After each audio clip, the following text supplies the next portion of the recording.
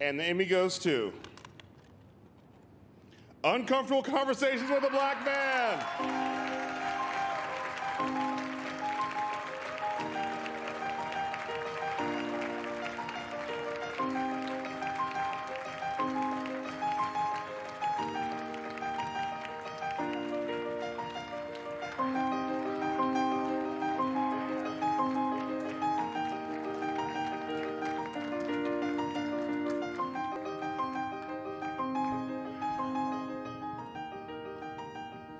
Wow. Um, first and foremost, I just want to thank my Lord and Savior, Jesus Christ. That's uh, the first thing. Second thing, I want to thank my team, um, Ryan, Terry, Christy, and everybody who helped with this project, my co producer, Mo.